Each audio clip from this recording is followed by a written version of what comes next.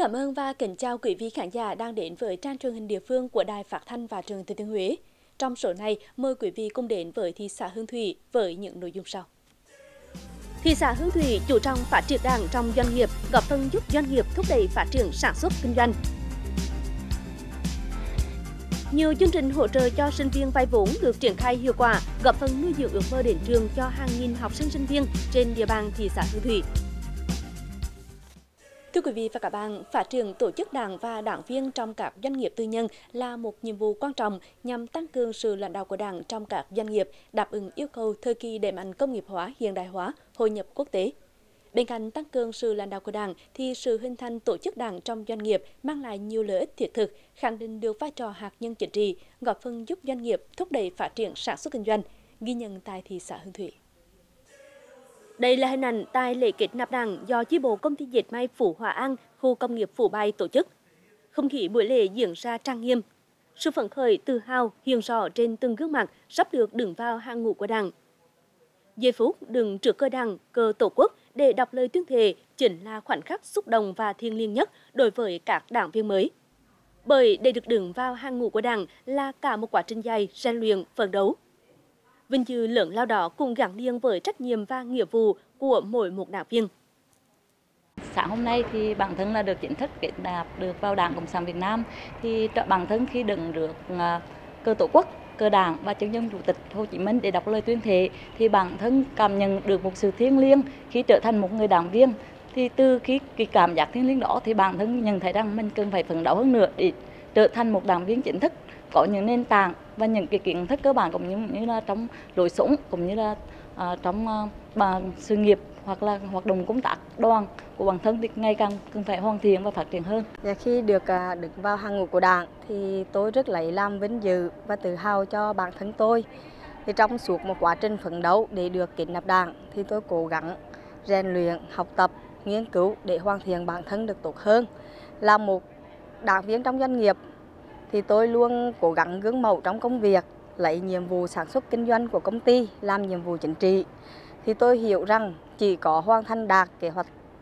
của công ty giao thì tôi mới hoàn thành được nhiệm vụ của chi bộ và lãnh đạo giáo phó.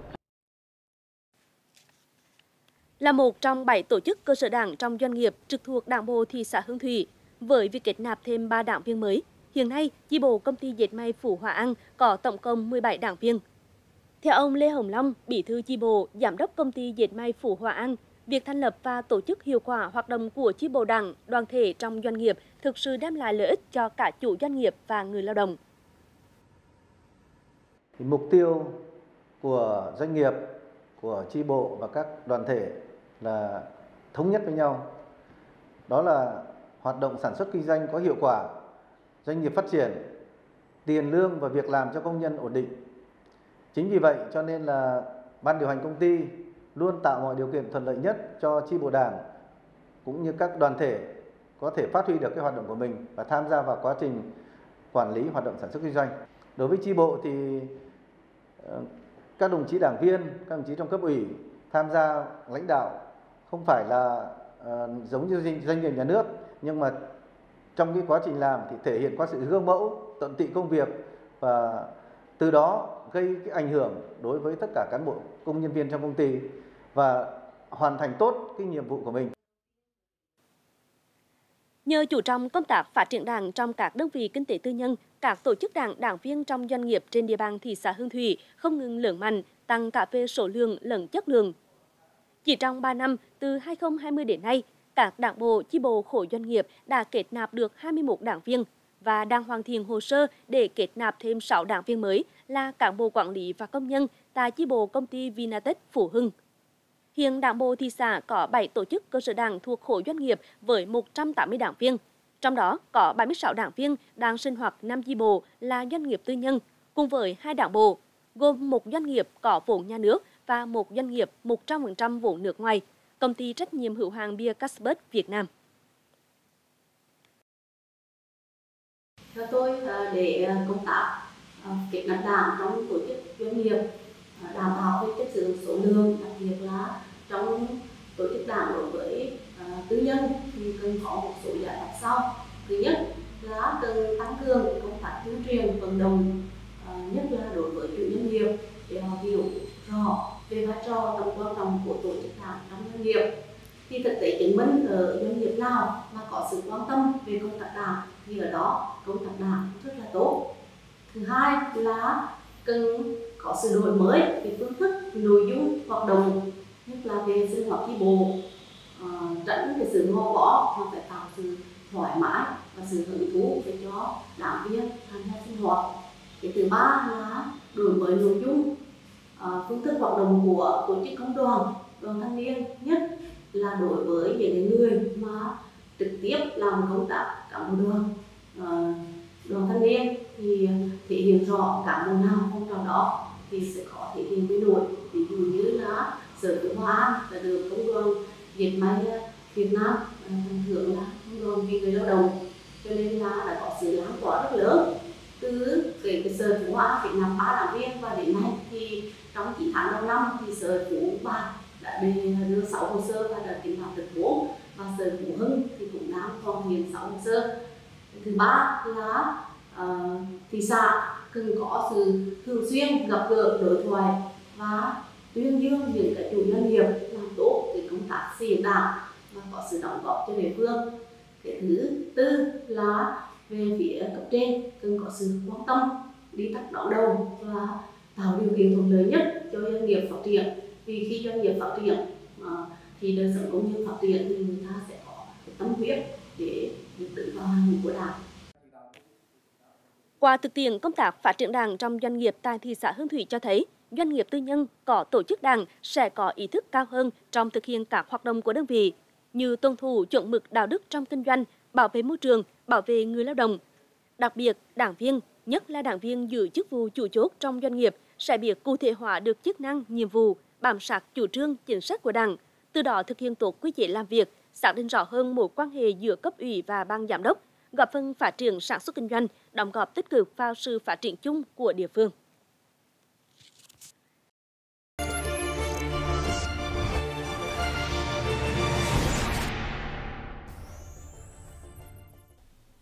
Với mục tiêu không để học sinh sinh viên nào phải bỏ học vì khó khăn về kinh tế, thời gian qua, Ngân hàng Chính sách Xã hội thị xã Hương Thủy đã phối hợp với chính quyền các địa phương, các hội, đoàn thể, tổ tiết kiệm và vay vốn, tích cực tuyên truyền về nguồn vốn vay. Việc triển khai hiệu quả chương trình đã góp phần nuôi dưỡng ước mơ đến trường cho hàng nghìn học sinh sinh viên trên địa bàn. Gia đình chị Đặng Thị Hương ở phường Phủ Bài là một trong những trường hợp có hoàn cảnh đặc biệt khó khăn được tiếp cận nguồn vốn vay học sinh sinh viên tại Ngân hàng Chính sách Xã hội thị xã với tổng số tiền 180 triệu đồng để trang trải chi phí học tập cho hai con đang theo học tại trường đại học Bách khoa Đà Nẵng. Nhờ chương trình tín dụng hỗ trợ học sinh sinh viên nên ngoài mức lãi suất ưu đãi 6,6% một năm, người vay còn được kéo giảm thời gian trả nợ đến 9 năm. À, gia đình tôi là hai vợ chồng làm công nhân, à, có hai đứa con học tại trường ờ, Đại học Bách khoa Đà Nẵng. Thì bản thân tôi là đau ốm thường xuyên nên hoàn cảnh rất là khó khăn. Nhờ tổ vay vốn của hội nông dân và phường à, giúp đỡ tôi. Tiếp cận là biết được là hội vay à, học sinh sinh viên là tôi đã vay à, là 40 triệu cho một đứa trên một năm. Thì cũng nhờ nguồn vốn này thì tôi đã trang trải cho con à, là học hành và mua sắm vật dụng học tập. Tôi rất là vui. Không riêng gì con gái chị Hương, nhiều học sinh sinh viên có hoàn cảnh khó khăn trên địa bàn thị xã Hương Thủy đã thực hiện hóa được giấc mơ đến trường nhờ nguồn vốn tín dụng học sinh sinh viên. Đây có thể coi là chiếc phao cứu sinh đối với học sinh sinh viên có hoàn cảnh khó khăn, không để các em trùng tuyển mà không có tiền nhập học và phải bỏ học giữa chừng vì khó khăn về kinh tế. Hiện tại là con là sinh viên năm hai của trường đại học y dược Huế. Um, con là với mẹ mẹ lao động chính trong gia đình uh, gia đình con thuộc hộ nghèo nên là thu nhập của mẹ con chỉ đủ trang trải uh, chi phí sinh hoạt hàng ngày. Uh, nhờ vào chính sách vay vốn học sinh sinh viên của ngân hàng chính sách xã hội nên mẹ con đã vay vốn cho con để con tiếp tục được đi học. Theo ông Châu Đình Ngự, Giám đốc Ngân hàng Chính sách Xã hội thị xã Hương Thủy, đối tượng được vay vốn từ chương trình là học sinh sinh viên mồ côi cả cha lẫn mẹ, mồ côi cha hoặc mẹ, nhưng người còn lại không có khả năng lao động, thành viên hộ nghèo, hộ cận nghèo, hộ có mức sống trung bình, học sinh sinh viên mà gia đình gặp khó khăn đột xuất về tài chính có xác nhận của Ủy ban nhân dân xã, phường, thị trấn nơi cư trú. Thì à, hàng năm Ngân hàng Chính sách Xã hội đã chủ động xây dựng cái kế hoạch nguồn vốn từ đầu năm để làm sao đảm bảo cho các cái đối tượng học sinh sinh viên à, của các hộ gia đình được vay vốn. Cái năm 2003 và năm 2004 thì chúng tôi dự kiến là giải ngân khoảng từ 7 đến 8 tỷ đồng cho đối tượng như chúng tôi đã nêu. À, để thực hiện tốt việc này thì à, chúng tôi thường xuyên tổ chức công tác tuyên truyền ở trên trên các trang thông tin điện tử của thị xã, các trang thông tin điện tử của các hội cấp tỉnh cũng như là các báo đài trên địa phương à, để làm sao đó các tất cả các hồ vay, à, các đối tượng đều nắm bắt được cái thông tin. Theo thống kê đến nay, dư nợ cho vay dành cho học sinh sinh viên có hoàn cảnh khó khăn trên địa bàn thị xã đạt hơn 16 tỷ đồng, tạo điều kiện cho hơn 540 học sinh sinh viên nghèo có cơ hội để theo học tại các trường đại học cao đẳng, trung cấp chuyên nghiệp và tại các cơ sở đào tạo nghề. Có thể khẳng định, chương trình tín dụng học sinh sinh viên đã thực sự lan tỏa, góp phần đảm bảo an sinh xã hội, thúc đẩy phát triển kinh tế xã hội của địa phương. Quý vị và các bạn vừa theo dõi trang truyền hình địa phương của Đài Phát thanh và Truyền hình Thừa Thiên Huế. Quý vị khán giả có thể xem lại chương trình tại địa chỉ website trt.com.vn hoặc trên fanpage của Đài Phát thanh và Truyền hình Thừa Thiên Huế. Xin kính chào và hẹn gặp lại quý vị trong những chương trình tiếp theo.